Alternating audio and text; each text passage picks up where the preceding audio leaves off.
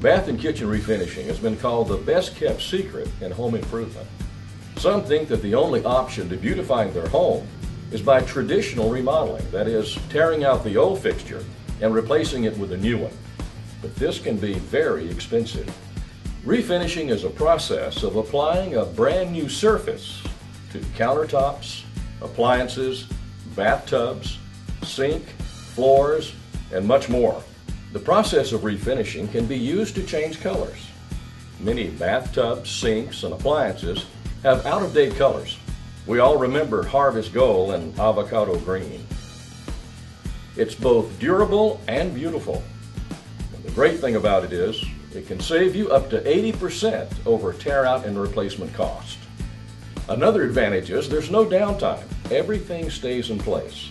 Nothing has to be removed. Everything is done right there in the bathroom and the kitchen. Tub King has set the standard for refinishing.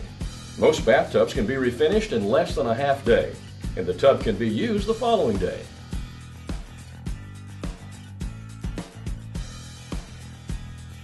So next time you're thinking about beautifying your home, give refinishing a try. Don't buy new, redo.